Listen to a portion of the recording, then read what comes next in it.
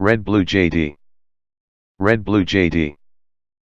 abanyarwanda baca umugani bati akabaye icwende ntikoga ngo niyo koze ntigacya niyo gakeye ngo ntigashira umunuko bimwe mu bikomere bikomeye mu mateka y'isi. Bigaragara ku rupapuro rw'amateka y'igihugu kinini kiri mu mutima wa afurika kuri ubu cyitwa repubulika iharanira demokarasi ya kongo.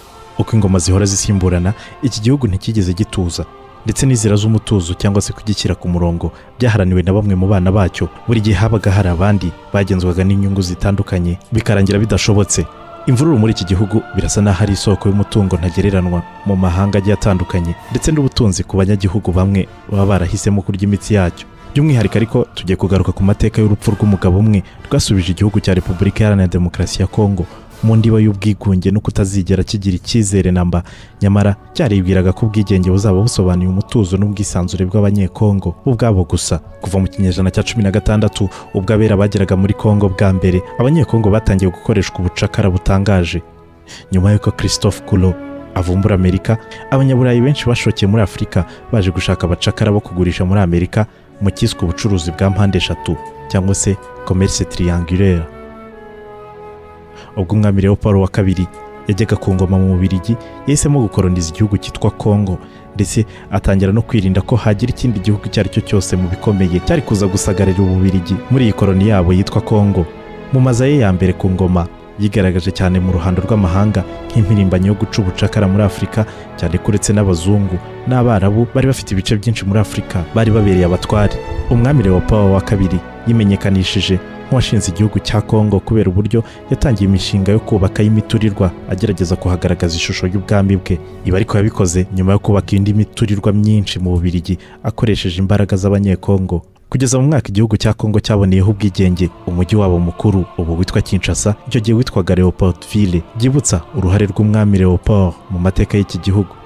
Mbere y'uko iki gihugu kiba igihugu cyigenga rumumba warwaniye ubwigenge bwacyo kugeza igihe ububirigi buviriye ku izima bugatanga ubwigenge nyamara ntamare ku buyobozi y'amezi abiri n'igice uyu yaje gushyirwa mu mubare w'abahirimbaniye impinduramatwara ishingiye ku gukunda igihugu. No kurwanira ubwisanzure ndetse ahora anazirikanwa nk'intwari y'ibihe byose muri repubulika iharanira demokarasi ya kongo ni we wabaye uwa mbere mu gusobanukirwa neza ko ubwigenge bugerwaho n'imbaraga z'abababajwe. Bakanakandamizwa imyaka n'imyaniko kuko ari bo baba bazi ibyo barwanira bonyine. Mu kuboza mu gihumbi kimwe na magana cyenda na mirongo itandatu ni bwo patrice meri lumumba wigaragaje mu ishusho y'umuvugizi w'ubwigenge bw'abanyafurika muri rusange n'igihugu cye kongo yatawe muri yombi arakubitwa arashinyagurirwa mu buryo bwose kugeza igihe apfiriye. Ni amwe mu mateka atibagirana mu mitwe y'abanyekongo benshi batekereza ko igihugu cyabo kigira umuyobozi nka lumumba wenda amateka yabo yari kuba asa ukundi gutandukanye n'uko ameze ubu. Niyo mugabo tugiye kugarukaho mu kiganiro umurage n'amateka cya none. Mu gice cya mbere cy'iki kiganiro turarebera hamwe. Amavu n'amavuko y'uyu mugabo. Turebere hamwe uruhare yagize mu gutuma iki gihugu kibona ubwigenge ndetse n'uburyo ibihugu by'ibihangage uhereye ku bubirigi bwari bwarahoze bugikoroniza byananiwe kwihanganira kuva muri iki gihugu burundu. Imvururu zakurikiye ubwigenge bwa repubulika iharanira demokarasi ya kongo ndetse n'urupfu rwa patrice meri lumumba. Tuzabirebera hamwe mu gice cya kabiri cy'iki kiganiro. Nk'ibisanzwe nitwa Trezor Pierre Chanel Ndayisenga. Ikiganiro cyo ni umurage n'amateka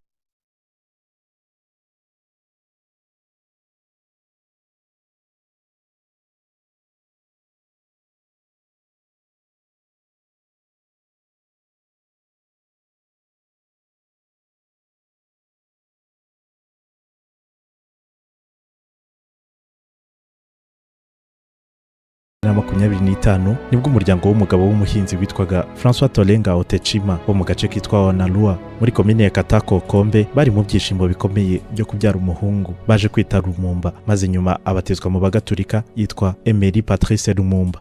Yavukiye mu muryango wa tribu yitwaga atetela akaba yarakuriye mu gace k'iwabo aza no kuba mu bice bya kisangani na kinshasa amaze gukura. Kuva akiri mutoya yaranzwe no guceceka no kwitondera ibintu byose mbese ari muri ba bana badashabutse ariko we akagira amatsiko ku bintu byose. Nyuma yo gukura mu bugimbi bwe yabaye harwanya cyane guceceka cyane. Ibyo bita timidite ibintu yumvaga ko byari kuzamutera ikibazo mu hazaza. Yaranyotewe cyane no gusoma no kumenya umuco. Ku buryo rimwe na rimwe atataga mu rugo kugira ngo arare yiga. Yashaka gusobanukirwa n'ibiba hirya no hino. Ashaka kwiga ashaka kumenya igifaransa kandi byari bigoye kuko yagitangiye atinze ariko byarangiye akivuga neza cyane. Uyu mugabo yakoraga muri sosiyete yacukuraga amabuye y'agaciro mu ntara ya kivu y'amajyepfo kugeza mu mwaka w'igihumbi kimwe na magana cyenda na mirongo ine n'itanu nyuma aza kuhava yerekeza i leopoldville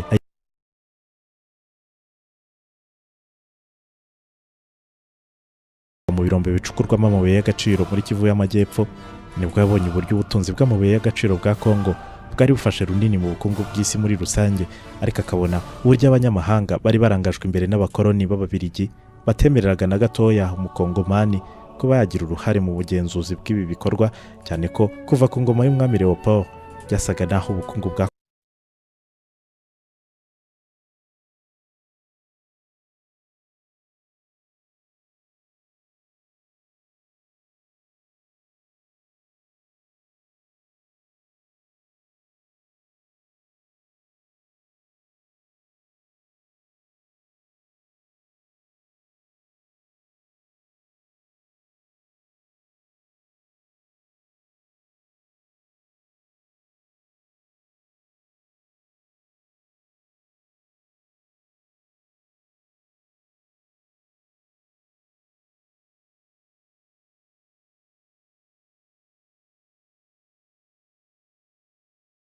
kuvuga. Abirabura bagaragazaga ubwenge bwisumbuyeho maze abakoloni bakabagirira icyizere ugereranyije n'abandi baturage.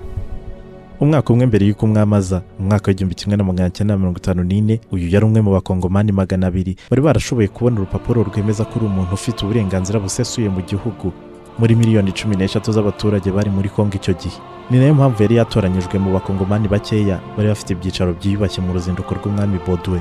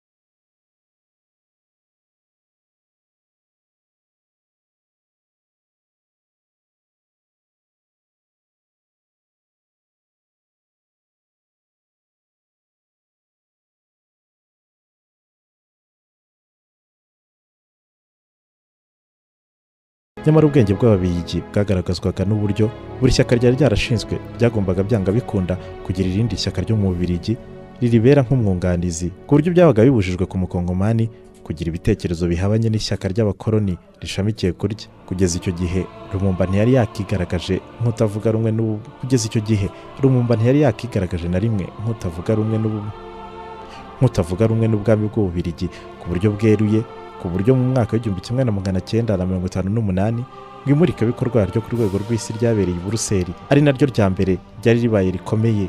Nyuma y'intambara ya kabiri y'isi n'abanyekongo baratumiwe na rumumba arimo muri cya cyiciro bisaba libera rumumba ntiyishimiye uburyo abakongomani bari bafashwe nk'abantu badashobora kwivugira ahubwo ko ububirigi bwari bubabereye nk'uko umubyeyi avuganira umwana we aho bibaye ngombwa hose. Kimwe n'abandi bagenzi be bakeya batangiye kwikura muri ka gatsiko k'abakongomani b'abanyabwenge. Ububirigi bwashakaga kwiyegereza no gufata neza kugira ngo batazabangamira muri gahunda zabo zo gukomeza ubuyobozi bwabo muri kongo akigaruka muri kongo uyu mugabo yahise ashinga ishyaka aryita muvoma national congore cyangwa se mnc byari ku ya gatanu z'ukwezi kwa cumi mu gihumbi kimwe na magana cyenda mirongo itanu n'umunani i leopoldville. Iyo ni kinshasa y'iki gihe.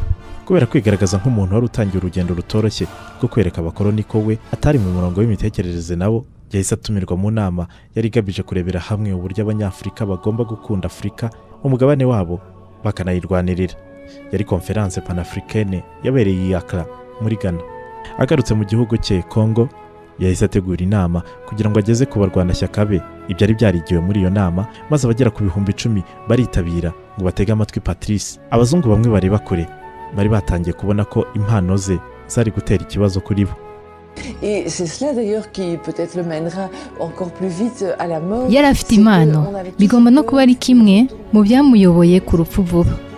Byari biteye impungenge ku kuba yarashoboraga kwigarurira abaturage bose yari azi no kumvisha abaturage kandi akavuga ibintu bikora ku mitima ya benshi.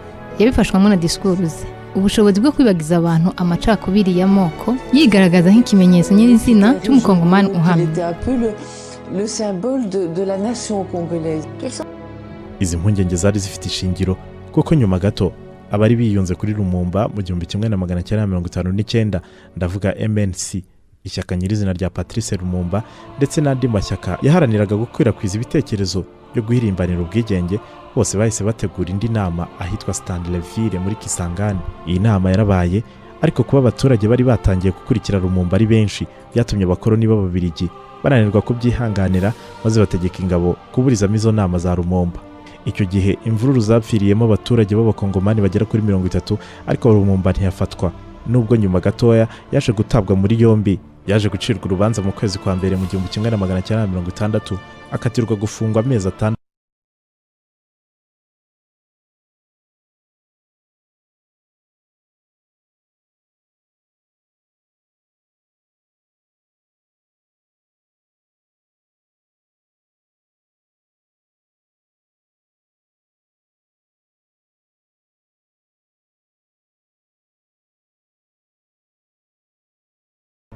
umwami bodwe yageze stanleyville bwa cumi na zirindwi ukuboza mu gihumbi kimwe na magana cyenda mirongo itanu n'icyenda. Umwami bodwe yagombaga gushyira indabo ku kibumbano cy'umwami leopold cyari mu metero nkeya uvuye aho patrice yari afungiye by'agateganyo ataraburanishwa. Akigera ku kibuga cy'indege umwami yakiriwe n'amashyi n'impundu by'abakongomani ariko atungurwa no kubona ukuntu bashakaga kurenga inzitiro z'umutekano zari zashyizweho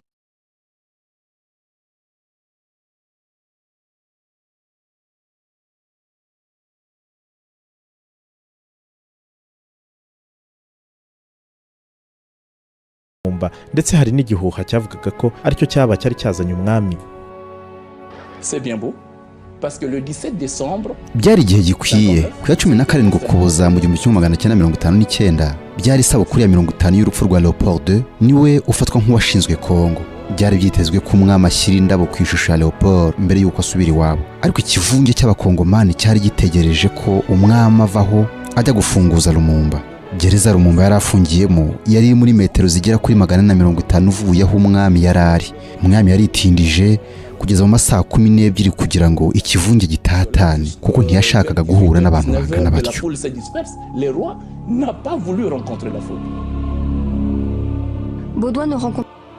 Umwami byarangiye atabonanye na rumumba maze n'abaturage babura uko babigenza ariko ubura barataha.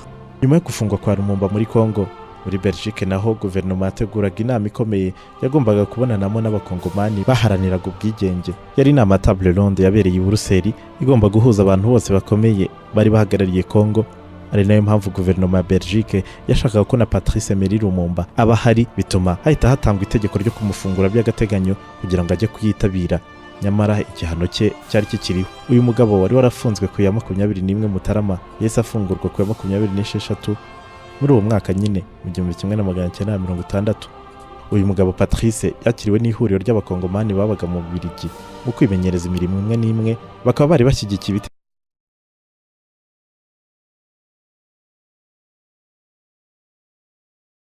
ibite bumvaga ko kongo itari izi ibyirimo kuko no mu gihugu imbere wasangaga habaho ubushyamirane bwa hato na hato hagati y'ubwoko cyangwa imiryango itandukanye yo muri kongo guverinoma y'ububirigi yibwiraga ko igomba gufatirana akavuyo ka kongo no kwinyuramo by'abakongomani ariko yisanga nta ngingo n'imwe yaheraho ihakana ko igomba gutanga ubwigenge.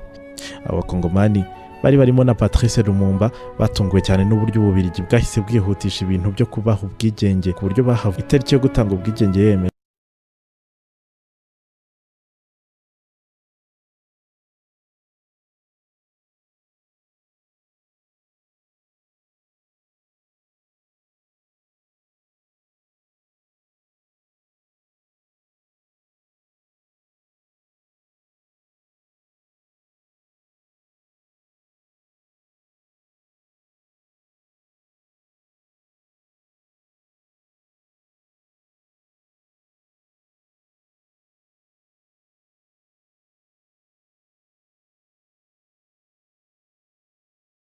Umwanzuro wafashwe mbere y'uko rumumba agera kuri table ronde. Itariki y'ubwigenge ntiyatoranijwe na rumumba we yaje asanga yashyizweho. Ababirigi bashyizeho iyi tariki bizeye ko izagenda uko babiteguye. Ariko ni bwo bahuye na rumumba nyawe ibibazo biravuka. La Belgique rencontre Lumumba et là, ça sera un choc frontal. ntibyari byoroshye ko ububirigi burekura kongo yuzuyemo amabuye y'agaciro isi yose yarangamiraga. Niyo mpamvu bashakaga gutanga ubwigenge mu mutuzo kugira ngo bazakomeze bayoborere munsi y'ubuyobozi bw'abakongomani ariko badafite imbaraga. Nyamara amagambo ya patrice yahise abereka ko ubwigenge kongo ikeneye ubushaka bwuzuye neza neza mbese itagishaka kugenda isa n'irandaswe n'ababirigi nk'aho yitishoboye. Ububirigi bwumvise agaciro duha ubwigenge bwacu n'icyubahiro cyacu nk'abantu. Bwumvise kandi ko abakongomani nta kibi babugamijeho uretse gusaba gusa ko isura y'ubukoloni bambitswe mu kinyejana cya makumyabiri yavanwaho. Patrice emeli lumumba. Niwe yasaga n'utarasobanukirwa neza imigambi y'abakoloni b'ababirigi. Abaturage b'abakongomani nabo byari uko bari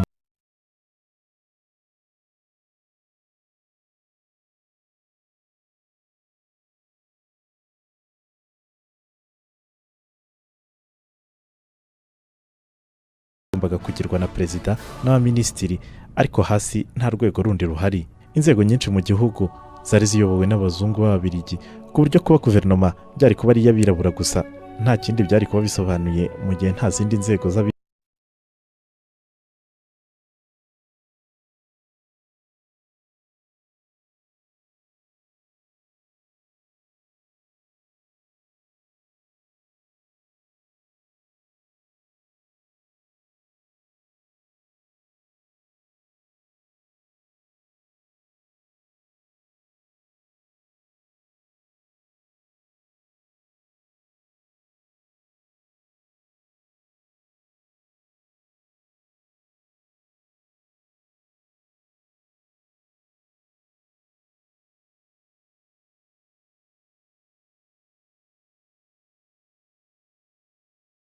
Lumumba we yamuguye mu ntege mu by'amajwi maze agirwa minisitiri w'intebe wa mbere wa repubulika iharanira demokarasi ya kongo nyuma yo kumushyiraho cyane ko n'itegeko nshinga ryari rikiri gukorwa ryateganyaga ko minisitiri w'intebe agomba guturuka mu ishyaka ryagize amajwi menshi mu matora. Icyo gihe ishyaka rya rumumba ryitwaga muvuma national de congore niryo ryari ryagize amanota menshi. Unika savubu joseph perezida wa mbere wa kongo nta kuntu ntakwishima namwe mbashima ku bw'iki kimenyetso cy'urukundo mbabwije ukuri ko ntari mbyiteze. Kasavubu akimara gufata ubutegetsi yigaragaje mu ishusho itandukanye n'iyo yagaragaragamo akirwanira ubwigenge. Yatangiye gusa n'ugaragara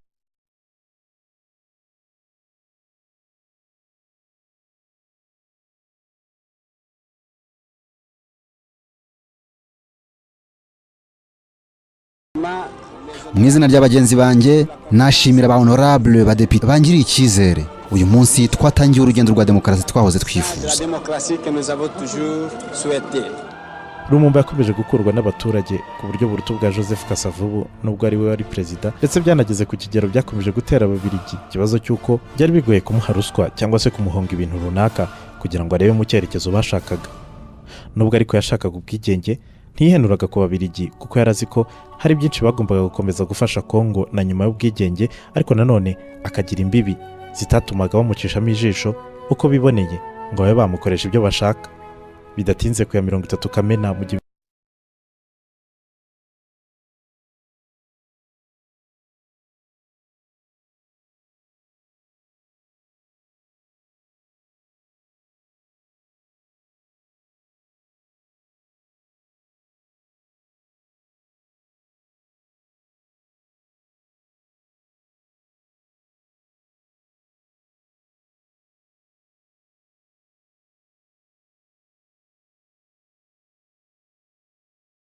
entreprise par lui avec un courage tenace et continuer avec ari na byo ububirigi bwakomeje. Mu myaka mirongo inani ishize ububirigi bwahoze bwohereza ku butaka bwanyu abana babwo bakomeye. À envoyer sur votre sol les meilleurs de ses fils.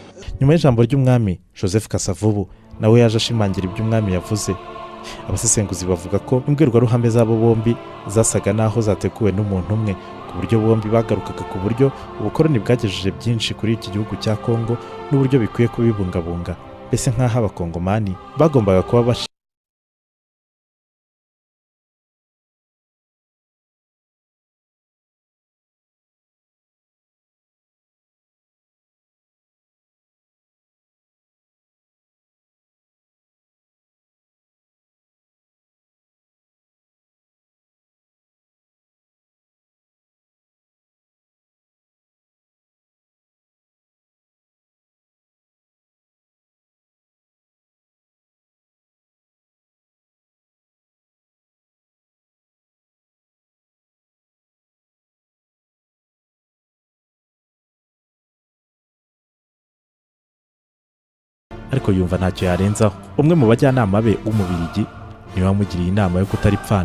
Deux, trois jours avant le 30 juin, je reçois de l'ami qui s'occupait de la presse gouvernementale les textes du discours du roi Baudouin et de Casavobu, le président de la République.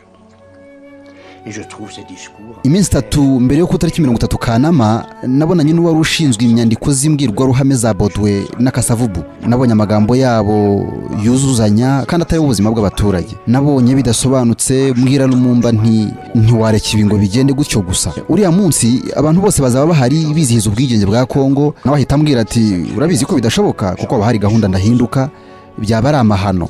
Njye naramubwiye nti patrice rwose ndumva wazitegura umwami yarangiza kuvuga ndetse na kasavubu nawe ugahaguruka ukavuga ijambo ryawe. À 3-4 mètres du micro quand le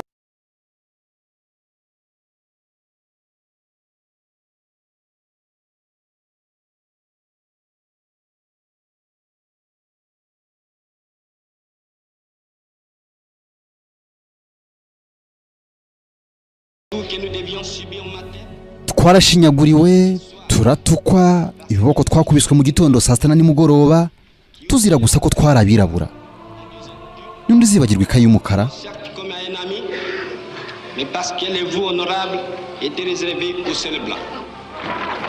Abaturage b'abakongomani bishimiye cyane iri jambo rya patrice ariko benshi bakanagira ubwoba kuko patrice rumumba yarasa n'utonetse intare kubera gutinyuka guhangara kuvuga amakosa y'ubwami bw'ububirigi umwami bodo ahari. Nyuma y'ibirori impapuro z'ihererekanwa ry'ubutegetsi ababirigi baha abakongomani ubwigenge zarasinywe kimwe n'impapuro z'amasezerano y'ubushuti bwagombaga gukomeza.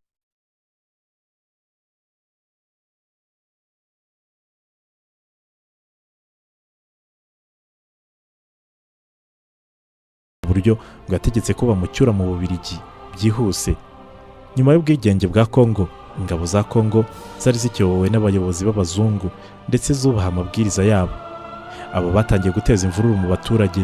Abaturage bo bari batangiye gusobanukirwa ko abayobozi bakuru b'igihugu ndavuga abaminisitiri n'abadepite n'abandi bo hejuru bari bafite imodoka nziza. Mbese ubuzima buteye imbere? Aribo basaga n'ababonye ubwigenge mu gihe rubanda rugufi rwo ntacyo ubwigenge bwari bwahinduye ku buzima bwabo bushaririye. Imyigaragambyo y'aba baturage yatumye benshi batabwa muri yombi. Ubuyobozi bushya ntacyo bubikoraho. Abasirikari b'abakongomani ariko nubwo bari bafunze abakongomani benshi bene wabo nabo bageze aho. Batangira kubabazwa n'uburyo bakomeje gutegekwa n'abazungu b'abakoloni kandi barabonye ubwigenge ndetse ntibanongezwa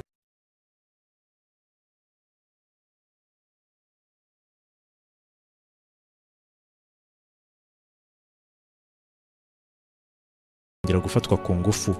Bitewe n'imyigaragambyo yari yakozwe n'abasirikari b'abakongomani bari barambiwe kubaho bategekwa n'abazungu. Uwitwa umubirigi wese wari ukiri muri kongo ishyano ryabaye nk'irimugwira rumumba wari minisitiri w'intebe anashinzwe umutekano w'igihugu yashatse kugerageza guturisha igihugu. Uyu yasimbuje abofisiye b'abazungu mu gisirikari ashyiraho abakongomani anakuba kabiri umushahara wabo agamije gutuma abasirikari barekera aho gukora ihohoterwa ku bazungu. Abazungu b'ababirigi ariko bari barangije gushya ubwoba batangiye guhunga ngo bitahire bo n'imiryango yabo yose. Byendaga gufata isura nk'iy'intambara yeruye kuko ububirigi bwahise bwohereza umubare munini w'abasirikari babwo. Mu mijyi minini ya kongo kugira ngo bahangane n'ingabo z'abakongomani. Byari nk'ikimenyetso cy'uko ububirigi bwari bwatakarije icyizere guverinoma nshya ya kongo n'igisirikare cyayo nyuma yo kubona ubwigenge. Izi ngabo z'ububirigi zanerekeje mu ntara ya katanga mu gicumbi cy'amabuye y'agaciro menshi. Abasirikare b'ababirigi bafashije uwitwaga moyize kapenda combe wari umuyobozi w'iyi ntara ya katanga kugira ngo yiyomore kuri kongo katanga ibe igihugu cyigenga. Ibihumbi cumi na kimwe by'abasirikari b'ababirigi byari bigeze muri kongo mu minsi icumi gusa. Ibi byatangiye gutangaza abanyamahanga kubona umubare ungana utyo w'abasirikari berekeza muri iki gihugu. Mu gihe gitoya ibibazo byose byabaye icyo gihe babigeretse ku mutwe wa patrice Emery lumumba kuko ari we wari wigaragaje mu ruhame nk'uzirikana neza nk'umuntu wabitse inzika y'ubukoroni bw'ababirigi muri iki gihugu. Ibitangazamakuru by'abanyaburayi byatangiye kuvuga yuko impfu z'ababirigi ndetse n'abahohotewe bose muri kongo byose byagizwemo uruhare na rumumba wigaragazaga nk'umwanzi w'ububirigi. Uyu yatangiye no kwitwa umwanzi w'amahoro ku isi. Ibi byari bigiye kugira ingaruka nyinshi cyane kuri patrice lumumba nubwo we atari yakabimenya leta ya joseph kasavubu yatangiye kumureba nk'umwanzi wa leta n'amahanga yose cyane cyane ababirigi bamufata nk'umwanzi nimero ya mbere. Inkubiri y'intambara y'ubutita yari ishyamiranyije abakominisite ndetse n'abakapitalisite na yo yaje kwivanga muri iki kibazo cyo muri kongo patrice waje gushyigikirwa n'abasoviyete byatumye amerika na yo yivanga muri iki kibazo kuko yahise yumva yuko abasoviyete baje muri kongo byanga bikunda ari amahame y'ubukominisite bagiye kuhakwirakwiza. Nibyo byatumye cia yivanga mu kibazo cyo muri kongo mu nkundire igice cya mbere cy'iki kiganiro ngihinira aha. Tuzasubukure mu gice cya kabiri. Turebera hamwe uburyo joseph kasavubu yakuwe ku butegetsi ku ngufu za amerika. Hashyirwaho mobutu sese seko waje gutangira guhiga bukware patrice lumumba kugeza igihe apfiriye. Nitwa tresor pierre chanel ndayisenga ntuzacibwe n'igice cya kabiri cy'iki kiganiro Red Blue JD. Red Blue JD. Red Blue JD. Red Blue JD. umurava no gushyira amanga kugira ngo wiyemeze guhangana n'umwanzi ukurusha imbaraga kandi nawe ubibona nyamara bitewe n'amahame yo kwanga gusuzugurika kandi ntuve ku izima hari ubwo ugera ku cyo washakaga cyangwa se ibintu ntibigende uko wabishakaga kandi ukaba utanabisubiza inyuma ngibyo ibisa n'ibyabaye kuri patrice Emery lumumba wibukwa nk'intwari yarwaniye ubwigenge n'ubusugire bwa repubulika iharanira demokarasi ya kongo kugeza igihe yemeye no kuhasiga ubuzima. Ni umugabo wateraga ubwoba ababirigi n'abandi bayobozi bo muri kongo batashakaga ituze na gahunda mu gihugu kubw'impamvu zo guhahira inda zabo kandi akabatera ubwoba atabakozeho ahubwo kubera ibitekerezo bye gusa. Twababwiye mu gice cya mbere cy'iki kiganiro urugendo rwe muri politike kuva yavuka kugeza igihe inzozi ze za mbere zabaye impamo ubwo yabonaga idarapo ry'ababirigi rimanurwa mu mujyi wa leopoldville ariyo kinshasa ya none hakazamurwa irya kongo mu gice cya kabiri cy'iki kiganiro turagaruka ku ngaruka zakurikiye ubwigenge busa n'ubwahawe abaturage batari bazi icyo ari cyo ariko tunarebere hamwe bimwe mu bigaragaza ubushake bukeya bw'ababirigi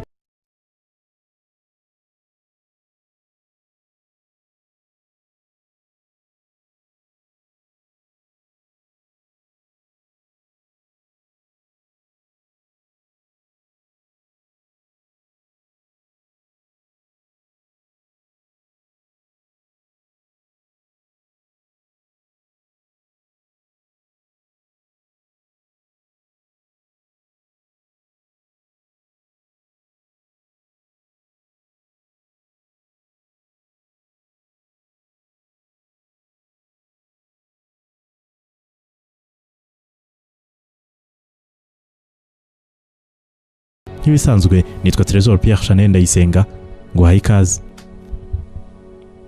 Mu myaka ya za mirongo itandatu inkubiri y'intambara y'ubutita niyo yari iri mu bihugu byinshi ku buryo ababirigi batangiye no kuvuga ko patrice lumumba nawe ari umukominisite kugira ngo bamwangishe abanyamerika n'abandi banyaburayi bose bangaga kubi amahame y'ubukominisite umwe mu bari abajyanama ba patrice lumumba witwa maurice hawkers yatangaje ko lumumba atari umukominisite ahubwo ko abakominisite bashakaga kumugira inshuti nk'umuntu babonaga atagendera ku matwara y'abanyaburayi no kuba yari afite ibitekerezo bizima bishingiye ku bwigenge bwe karemano uyu mugore avuga ko n'ikimenyimenyi lumumba amaze kubona ko ubucuti yari afitanye na bamwe mu bayobozi b'ibihugu by'abakominisite bwatumaga bamwita umukominisite nawe kandi bikaba byari urwitwazo rukomeye ku banyaburayi n'abanyamerika rwo kumushoza y'intambara nawe ubwe yageze aha bigarukaho akura abantu mu rujijo ndetse anategeka abarwanashyaka be kutongera kwakira telefone n'ubundi butumwa biturutse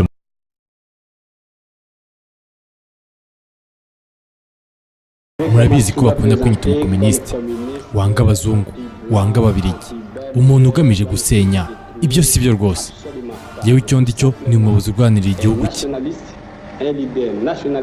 Un idéal. ababirigi bari barohereje ibihumbi by'ingabo muri kongo batangaje ko byari mu rwego rwo gucungira umutekano abaturage babo bari bakiri muri kongo ndetse n'abandi baturage b'abanyekongo bavugaga yuko ngo bicwa bazira akarengane. Akavuyo kari kabaye kenshi mu gihugu bituma bamwe mu bayobozi b'intara zitandukanye muri kongo batangira kugira inyota yo kuba ibihugu byigenga. Uwitwa moyizi combe ni we wabimburiye abandi ahita atangaza ko katanga ari intara yigenga ndetse atangira gahunda yo kwiyomora kuri leta ya repubulika ya kongo. Yari ikimara kubona ubwigenge.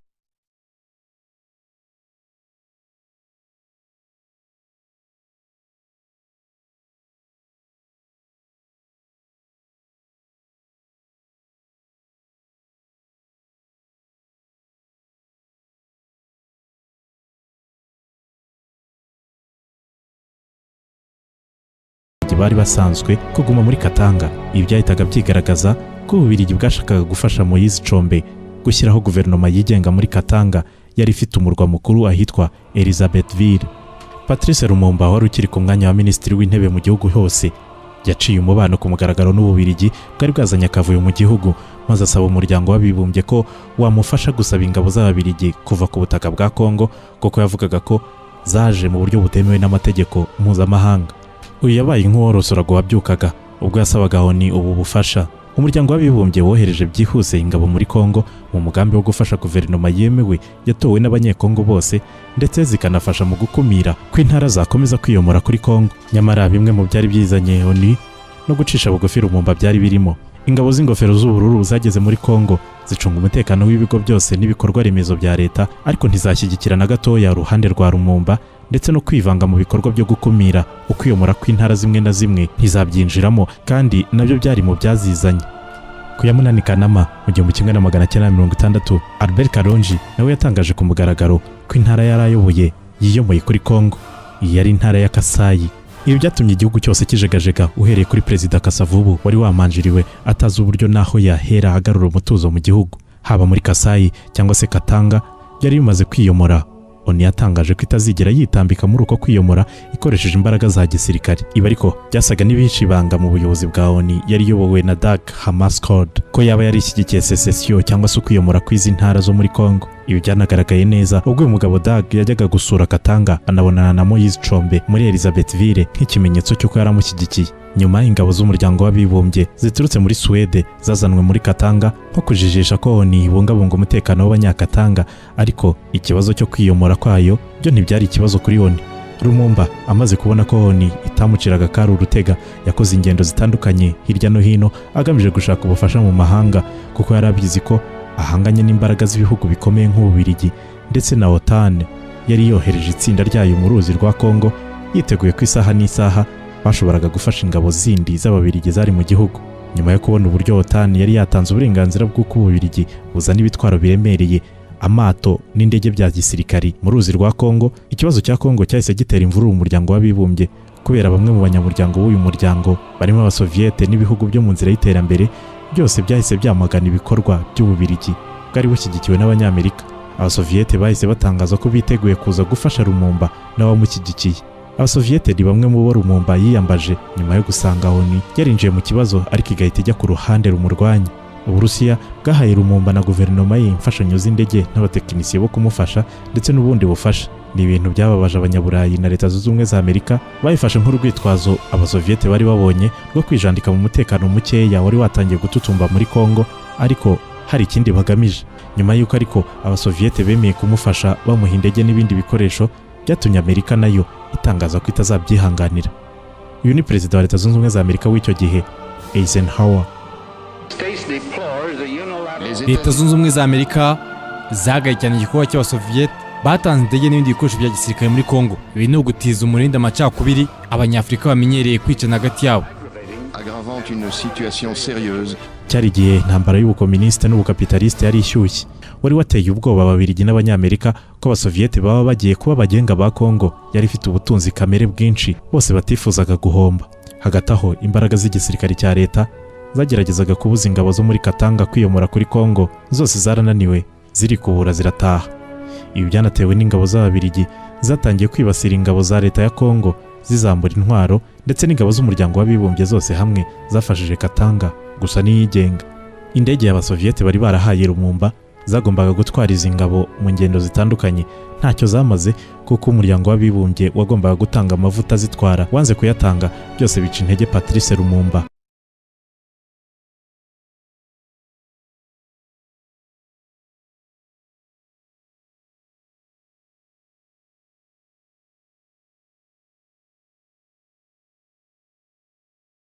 Aba bandi bigaragambyaga bafite ibyapa byanditseho ko rumumba agamije kugurisha igihugu cya kongo ku barusiya kuva rumumba akiri minisitiri w'intebe abagize guverinoma ye niwe bumviraga cyane kurusha kasavubu wari usanzwe nta gikundiro cyinshi yarushaga patrice. Uko gushyira hamwe k'uruhande rwa patrice kwatumye abanzi ba rumumba mu bubirigi nabo batangira gushaka uburyo bwo gusenya guverinoma ya rumumba. Binyuze mu kubiba umwiryane mu nteko ishinga amategeko y'ububirigi batoreye itegeko rishyiraho ingengo y'imari idasanzwe yo kohereza kugumura abantu ngo bave kuri rumumba icyantangaje ni icyo kintu cy'amafaranga. Namaze kuvumbura ko muri mirongo itandatu ububirigi bwatoye ingengo y'imari idasanzwe ya miliyoni zirindwi z'amayero. Ntiyari na make y'icyo gihe. Ayo yari agamije kwiyegereza abayobozi bakuru ba kongo ngo batandukane na rumumba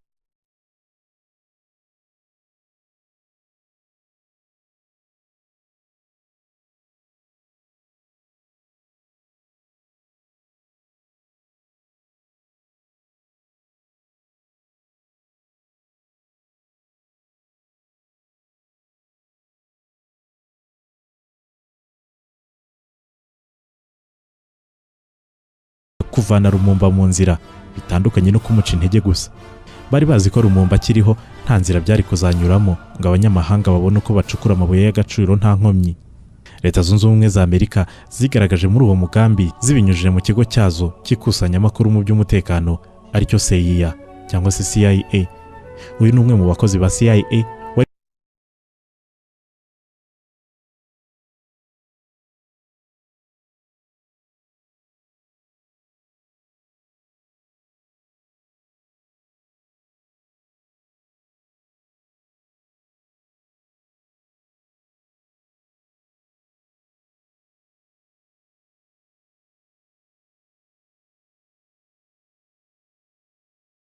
entendu dire que l'agence ait été impliquée dans une telle affaire auparavant. La substance pour éliminer Lumumba était de la pâte dentifrice empoisonnée ntabwo nari narigeze numva CIA yivanga mu bintu nk'ibyo na mbere. Uburyo bwo guhitana rumumba ko ari ukumuha ifunguro ze kugira ngo azafatwe n'uburwayi. Nka poliyo bahakanye ko ari perezida Eisenhower watanze ayo mabwiriza. Sinzi niba ari we cyangwa atari we ariko nzi ko byanga bikunda hari icyo yavuze. En tout état de cause, il a bien fallu que quelque chose soit dit. Ukwezi kwa cyenda kugitangira. Abanyamerika n'ababirigi bakomeje kotsa igitutu perezida kasavubu ngo yirukane minisitiri w'intebe ari we patrice meri lumumba wari ubabangamiye mu mishinga yabo yose. Iki gitutu cyagaragariraga mu rujya n'uruza rw'abashyitsi b'abanyamahanga bahoraga mu rugo rwa perezida kasavubu wari utuye ku nkengero z'uruzi rwa kongo ku ya gatanu nzeri ni bwo kasavubu yavuye ku izima maze ashyira mu bikorwa ibyo yasabwaga n'abo bayobozi bo mu burengerazuba. Le 5 septembre 1960. ku ya gatanu nzeri umwaka w'igihumbi kimwe magana cyenda mirongo itandatu twahisemo kweguza minisitiri w'intebe patrice lumumba kimwe n'abandi baminisitiri bamwe tugendeye ku biteganywa n'ingingo ya makumyabiri na kabiri y'itegeko nshinga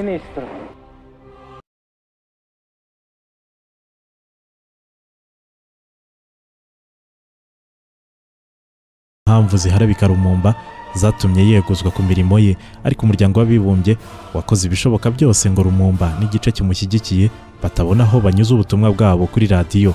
Uretse ko banatinyaga ko patrice yageza ijambo ku baturage benshi n'ingabo z'igihugu zigahita ziza kumurwanirira mu murwa mukuru wa leopoldville umuryango w'abibumbye kandi wanafunze ikibuga cy'indege kugira ngo patrice atabona uburyo ubwo ari bwo bwose yatumaho ingabo zari hirya no hino mu gihugu. Ziri munsi y'itegeko rye kuko yari minisitiri w'intebe akaba ari nawe wari ushinzwe ingabo z'igihugu. Ibyagaragazaga oni mu ntege nkeya isanzwe ishinjwa zo gukorera mu kwaha kw'ibihugu bimwe na bimwe bikomeye aho icyo gihe yigaragaje nk'igikoresho cy'ibyifuzo by'ububirigi ndetse na leta zunze ubumwe za amerika. Joseph kasavubu yasimbuje patrice lumumba undi mu minisitiri w'intebe witwaga joseph ileo. Nyamara lumumba yatangaje ko akiri ku mirimo ye. Nyuma yaho patrice lumumba nawe ntiyaripfanye. Yahise ashinja perezida joseph kasavubu kugambanira igihugu ahita asaba ingabo zari zishamikiye ku ishyaka rye zari ziri i stanville ngo zigerageze kuza muri kinshasa. Lumumba ariko yahise abyumva ko atezwe imitego hirya no hino. Leta zunze ubumwe za amerika ariko na zo ntizari zituje. Nubwo zari zifite gahunda yo kwikiza patrice meri lumumba cia ikigo cy'ubutasi cy'abanyamerika cyanashakaga uburyo bwose bwo gukuraho ubuyobozi butareba mu cyerekezo amerika yashakaga. Ari na yo mpamvu yo yahise itegura uburyo bwo guhirika ubutegetsi bwose muri kongo na kasavuba adasigaye abanyamerika ndetse n'ababirigi bari baritegereje umusirikari. Wari warahoze ari umunyamakuru ariko akaba umwe mu basirikari batizerwaga cyane na rumumba gusa rumumba yari yarageze aho amugirira icyizere amuha ipeti rya koroneri mu gisirikari anaba umukuru w'ingabo. Ni joseph mobutu. Ku buryo butunguranye mobutu yahise akoresha imbaraga yari amaze guhabwa maze ahita afata igihugu anashyiraho guverinoma yigenga y'agateganyo nyuma yo guhirika kasavubu ku butegetsi. Uyu yari afashijwe n'ububirigi n'abanyamerika ndetse n'imbaraga za oni zari zimushyigikiye mu ibanga. Uyu ni mobutu wari koroneri avuga ko byari bikwiye gushyiraho ubutegetsi bushya bushingiye ku gisirikare.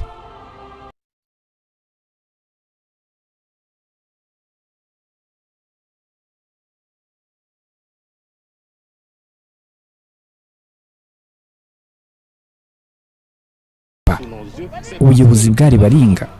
Rero igisirikare cyakoze inshingano zacyo kugira ngo kirinde isura y'igihugu. Nibyo twakoze. Le prestige de ce pays, c'est ce que nous avons fait.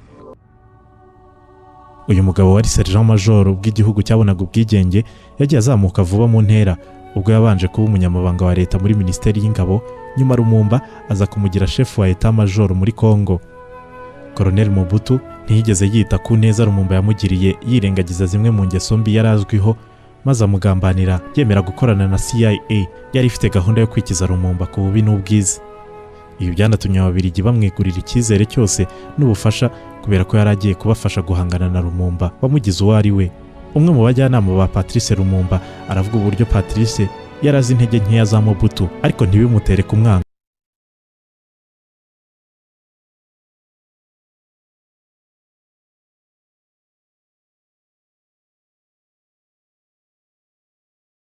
Atatumiwe rumumba agahita avuga ati joseph ngira ngo uzi aho wisikiri wajya kwiseriva nta kibazo. Nubwo ariko mobutu yari afite ubutegetsi n'ingabo zose ziri munsi y'itegeko rye ababirigi bakomeje kwikoma rumumba kuko nubwo yari yarahagaritswe mu ruhando rwa politike yakomeje gukundwa n'abaturage n'abandi bayobozi rwihishwa ku buryo ibitekerezo byo kumwica byakomezaga kwigaragaza nk'umuti wo kumwikiza burundu. Ku ya gatanu z'ukwezi kwa cumi ni bwo i buruseli bohereje ubutumwa buri mu bimenyetso bijimije. Gusa nyuma byaje kumenyekana ko nabwo bwaje kwiyongera ku bwo muri cia bwasabaga ko rumumba yicwa.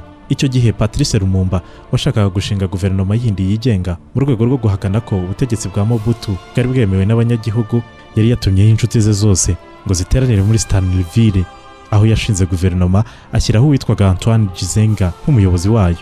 Ku ya makumyabiri na zirindwi z'ukwezi kwa cumi na kumwe muri mirongo itandatu we yaje guhungana n'umuryango we ava aho yari atuye ajya ahitwa karina muri stanleyville ahari bagenzi be benshi.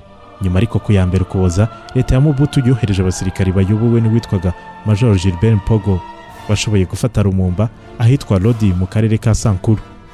Nyuma yo gutabwa muri yombi n'abasirikari ba mobutu yagaruwe leopoldville aziritswe kugira ngo bongere bamufunge. Ku ya kabiri nzeri mu kwezi kwa cumi n'abiri ni bwo yafashwe maze ajyanwa mu ikamyo akubitwa ashinyagurirwa bikomeye. Aya ngo niyo mashusho ye ya nyuma yagaragaye kandi nubwo yari afunzwe yakomeje kwigaragaza mu ishusho y'umuntu wigenga areba abamufotoraga nta soni ndetse akananyuzamo akareba abaturage nta kimwaro namba cy'uko yari yakomerekejwe ava amaraso mbese asuzuguritse. Ku bamurebaga. Gusubizwa mu buroko nanone ntibyari bihagije kuko bamutinyaga barushagaho kumutinya kubera ukuntu imbaga y'abaturage yakomezaga kumurwanirira ishyaka. Emmanuel gerard ni umunyamateka wemeza ko yabonye inyandiko mu bubiko bw'inyandiko z'ibwami mu bubirigi zigaragaza ko umwami Baudouin yari yamenyeshejwe ibijyanye n'umugambi wo kwica rumumba ukaba waracurirwaga muri katanga kwa perezida combi mu kwezi kwa mbere mu gihumbi kimwe na magana cyenda mirongo itandatu na rimwe hatangiye igikuba muri guverinoma ya mobutu. Bibaza aho bagomba gushyira rumumba. Aho atazashobora kongera kugeza ibitekerezo bye ku baturage. Ariko nanone byari ukubera ko ingabo z'inkoramutima za rumumba zari stanleyville muri kisangani ya none zari zafashe gahunda yo kuza gutera mu murwa mukuru ngo zifunguze umukuru wazo rumumba. Ibi ni byo byateye impungenge. Zanatumye batangira gutekereza uburyo rumumba yakwimurwa akajyanwa ahandi gufungirwayo nko muri katanga. Ari nako byaje kugenda nyuma. Nubwo yari afunzwe patrice yari abizi ko isaha n'isaha agomba gupfa ndetse ku itariki ya cumi n'enye mutarama yandikiye umugore we pauline asa n'umusezeraho mu marenga. Ne pleure pas, ma compagne. nturire mugore nkunda. Nzi ko igihugu cyanjye kikibabazwa kizashobora kurinda ubwigenge bwacyo. Abana banjye nsize kandi nshobora kutazongera kubabona ukundi. Ubambwiriye ko hazaza ha kongo ari heza. Uti muhayitegereze kuko buri munyekongo yakagombye guharanira gushimangira ubwigenge bwa kongo n'ubusugire bwayo. Kutiyubaha bijya no kutabohoka ahatari ubutabera nta kwiyubaha kwabo. Kandi ahatari ubwigenge nta muntu ubohotse uhabarizwa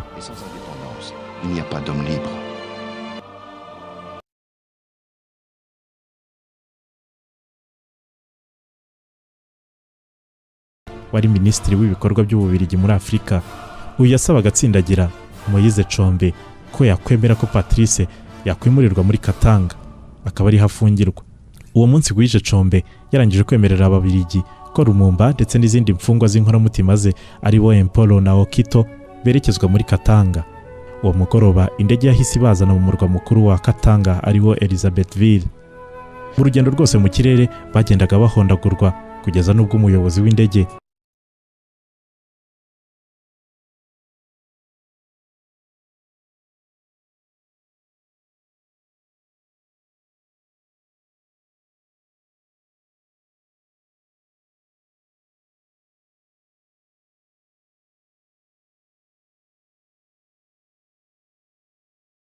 Combe wari perezida wa Katanga byemejwe n'ubwiganze bw'ababihisemo ko imfungwa zihita zicwa uwo mugoroba zazaniweho. Aba bashatse ahantu hafite ubwisanzure maze bakikiza imodoka zabo igiti kimwe cyasaga naho kiri nko muri metero mirongo itatu. Uvuye ku modoka zabo maze icyo giti aba ari cyo bazirikaho imfungwa kugira ngo ziraswe. Emporo na okito nibo ngo babanje kwicwa maze rumumba nawe araraswa. Hari ku isaha y'isaa tatu na mirongo ine n'umwe z'umugoroba. Itariki yo ni cumi n'esheshatu mutarama. Nyuma y'urupfu rwe ubuyobozi bwa katanga bwahishe amakuru y'urupfu rwe. Mu byumweru byakurikiyeho. Guverinoma ya katanga yanabeshye ibinyamakuru mpuzamahanga ko rumumba yatorotse uburoko ariko ngo akaza kwicwa n'abaturage. Mu byaro bitandukanye aho yagiye ahungira. Ku itariki ya makumyabiri n'imwe mutarama mu gihumbi kimwe na magana cyenda mirongo itandatu na rimwe ni bwo amakuru ya nyayo yatangajwe byeruye ko patrice meri rumumba ku myaka ye mirongo itatu n'itanu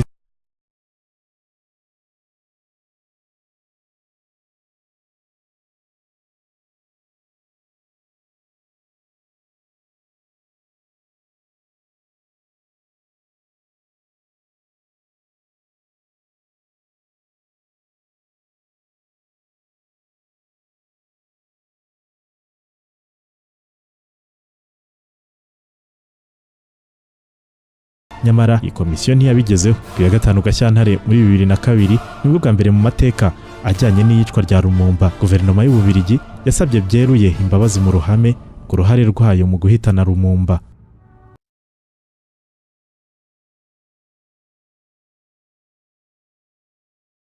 Ku buryo bugezweho twamenye ko bamwe mu bari bagize guverinoma y'icyo gihe bagize uruhare rukomeye cyane mu bikorwa byaganishije patrice rumumba ku rupfu. Guverinoma rero irasaba imbabazi byeruye umuryango wa rumumba n'uwa emporo na okito kandi iricuza ibyo yakoze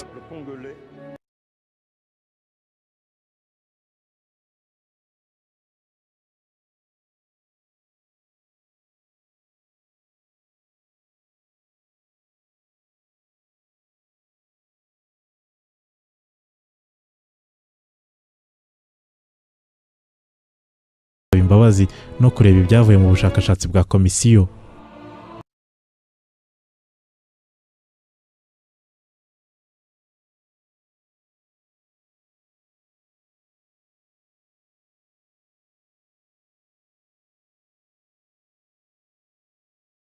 Ko leta y'ububirigi yagize uruhare mu rupfu rwa rumumba ariko ntibagire uwo berekana nk'uwagize uruhare rweruye byari bigamije gukumira icyo ari cyo cyose cyatuma ububirigi bwashyirwaho ikosa ryatuma uwo muntu yishyura amande cyangwa se agakurikiranwa mu nzego z'ubutabera. Guverinoma y'ububirigi ariko yari yemeje ko imwe mu myanzuro ari uko izatangiza ikigega cyitiriwe patrice meri rumumba kugira ngo kijye gitera inkunga ibikorwa byo guharanira demokarasi muri repubulika iharanira demokarasi ya kongo nyamara icyo kigega kugeza na n'ubu ntikirakora buri mwaka mu ijoro ryo ku ya cumi n'esheshatu rishire ya cumi na karindwi z'ukwezi kwa mbere abakongomani bibuka urupfu rw'uyu mugabo warwaniye ubwigenge akanabashyiramo imyumvire yo kwihagararaho nk'abanyagihugu no kurwanira agaciro kabo ngushimire kuba wakurikiye ikiganiro umurage n'amateka cya none nitwa Trezor Pierre Chanel Ndayisenga imana ikomeze ibarinde Red Blue JD. Red Blue JD.